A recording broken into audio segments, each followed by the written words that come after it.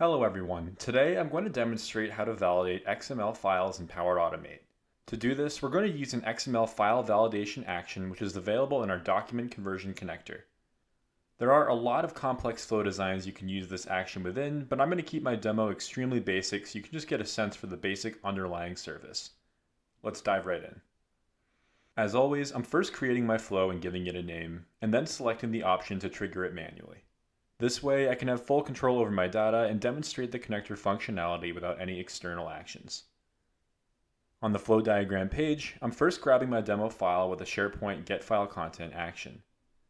This file just contains sample XML data from a trusted online source, and after finding this action and configuring my site address and file details, I'm ready to jump into the validation step.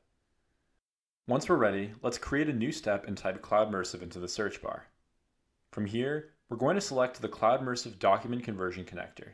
Please note that we have a separate connector called the Data Validation Connector, which, understandably, you might assume would house this action.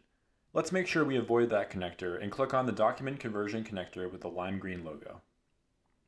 If you haven't used this connector before, you'll first need to provide an API key and name your connection. You can get an API key for free by visiting our website and registering a free account. This will allow up to 800 API calls per month with no additional commitments once that limit is reached. From the actions list, let's type validate XML and select that option when it comes up. Once we click on it, we can then configure our request information.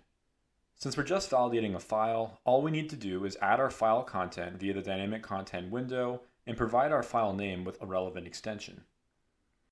After those two pieces of information are configured, we can finally test the connector action functionality. I'm now quickly saving and testing my flow. After confirming all the usual details, I'm clicking Run Flow and awaiting results. When the flow finishes running, I'm opening the connector body. As we can see, we have four response categories providing Boolean, integer, and object responses. The Boolean determines the document validity and can be used to divert or stop the flow from running if files are found to be invalid. The error count and warning count integers identify how many problems there are within the document, if any. Finally, the object response sitting between these integers provides more extensive information on what exactly those errors and warnings are, if there were any. It's important to note that valid XML files can of course cause problems, especially if they happen to contain external entity references which we aren't aware of. We do have a separate security connector action designed specifically to check for XXE attacks, which I'll demonstrate in a separate video.